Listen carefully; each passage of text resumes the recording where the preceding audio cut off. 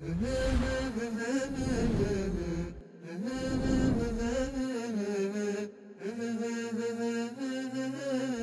نديرش حفرة كما يفعل كثير من الناس خاصة في المناسبات عرس ولا كذا وبيذبح يعمل حفرة ويظل يدور عليها يصبح الدور الداير.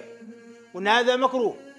واشتد وتشتد كراهته في تركك القبلة عمدا وفي ذبحك الشياه أمام أخواتها وهذا منهي عنه باتفاق الفقهاء.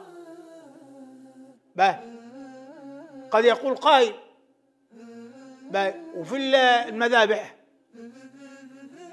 لما يذبحون بالضغطة واحدة والله بزر والله كذا نقول هذا هذا هذا يدخله التيسير يدخله التيسير لأنه من ضرورة. كم يذبح؟ خاصة الدجاج كم يذبح؟ بيضطر إلى الذبح الآلي. وذابح يقول بسم الله ويكبر ويذبح.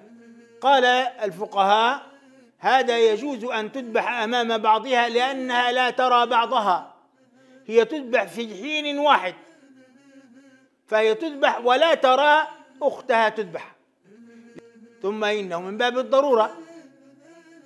أما في حياتنا اليومية العادية فأين الضرورة؟